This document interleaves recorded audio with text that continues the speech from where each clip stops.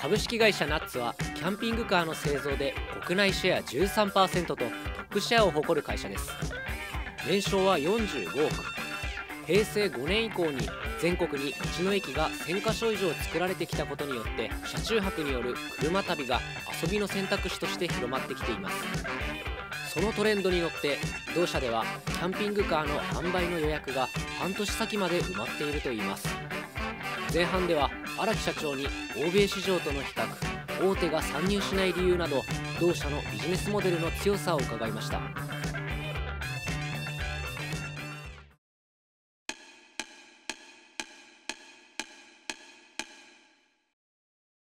約年間750台ほどの製造をしています。キャンピングカー。キャンピングカーをですね、はい。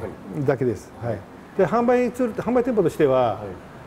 えー北海道札幌から、えー神奈川愛知京都そして福岡太宰府北九州と6店舗ですね。